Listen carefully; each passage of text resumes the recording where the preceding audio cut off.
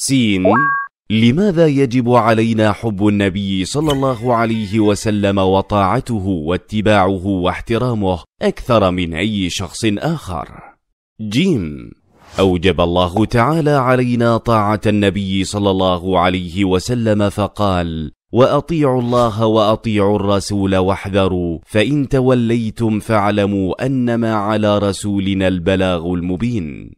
واخبر تعالى أن طاعة النبي صلى الله عليه وسلم هي طاعة له فقال من يطع الرسول فقد أطاع الله ومن تولى فما أرسلناك عليهم حفيظا. وحذر الله عز وجل من التولي عن طاعته صلى الله عليه وسلم وأن هذا قد يصيب المسلم بالفتنة وهي فتنة الشرك. فقال فليحذر الذين يخالفون عن أمره أن تصيبهم فتنة أو يصيبهم عذاب أليم.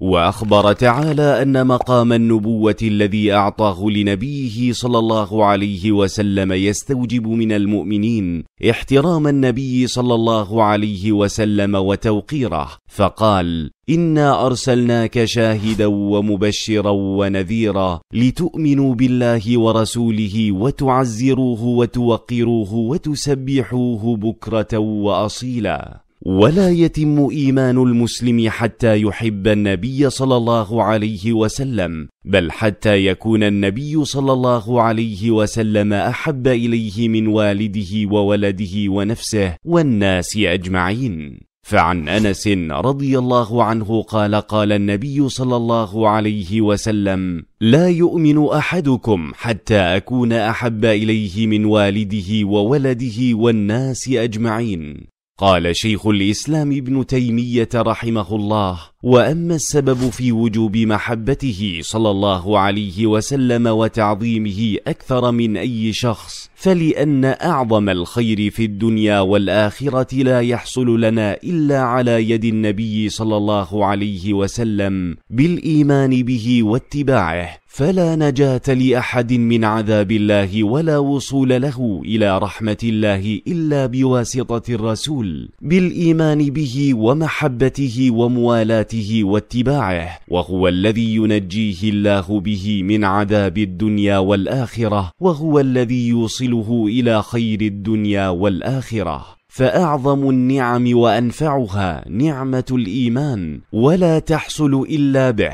وهو أنصح وأنفع لكل أحد من نفسه وماله فإنه الذي يخرج الله به من الظلمات إلى النور لا طريق له إلا هو وأما نفسه وأهله فلا يغنون عنه من الله شيئا.